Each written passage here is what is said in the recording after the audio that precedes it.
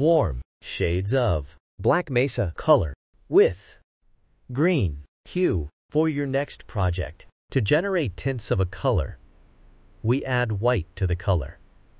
And tints creates light and exquisite emotions.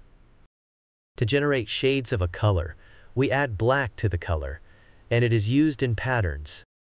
3D effects, layers and shades create depth and drama. Black Mesa. Is a warm color, and it emits cozier and active emotion.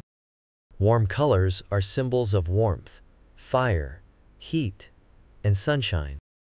It also evokes joy, passion, love, and even anger emotions.